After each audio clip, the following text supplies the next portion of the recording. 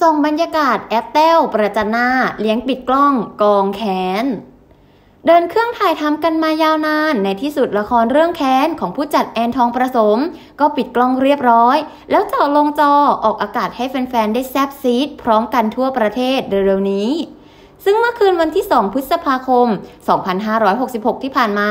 เหล่าทีมงานและนักแสดง เขาก็จัดปาร์ตี้เลี้ยงปิดกล้องกันแบบสนุกสนาน มวนซืนกันสุดๆ นำทีมโดย ผู้จัดคนเก่ง สาวแอนทองประสม แอปทักษะออน แดวนัทพร นายนภัส